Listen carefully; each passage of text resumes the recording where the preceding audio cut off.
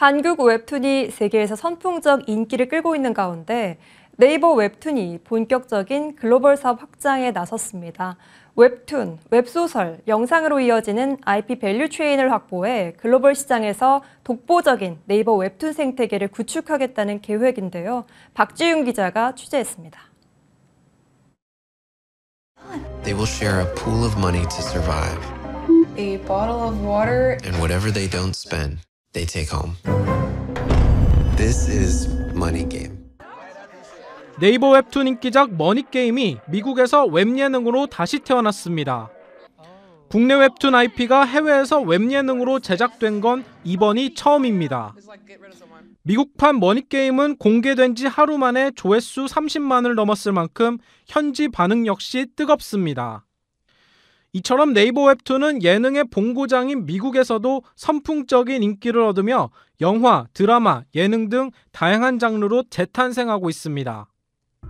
어, 한국의 이야기가 사실 한국에서도 굉장히 치열한 경쟁을 뚫고서 계속 좋은 이야기들이 나오고 있다 보니 이게 꼭 한국뿐만 아니라 국경을 넘어서 좋은 이야기는 결국엔 퍼진다라는 취지로 어, 이야기가 잘 퍼지는 것 같고요.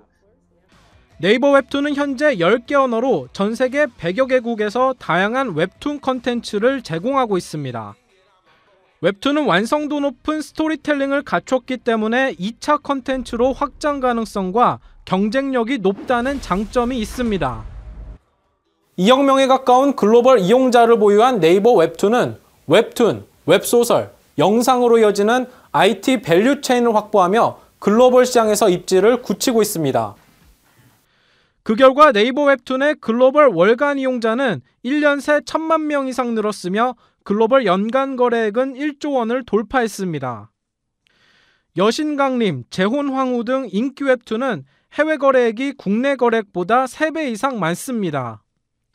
상반기에는 유럽의 총괄법인 웹툰 EU를 설립해 글로벌 사업 거점을 추가하는 등 전 세계를 무대로 독보적인 웹툰 생태계를 만들어 나갈 계획입니다.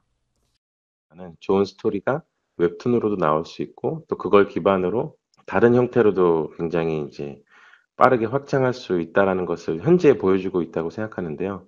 좋은 이야기가 잘 엮일 수 있도록 하는 IP 밸류 체인을 구축하는 것도 웹툰의 어, 중요한 목표라고 생각합니다. 새로 취임한 최수연 네이버 대표 역시 글로벌에 방점을 찍은 만큼 네이버 웹툰의 글로벌 사업 확장에 속도가 붙을 전망입니다. 머니투데이 방송 박지웅입니다.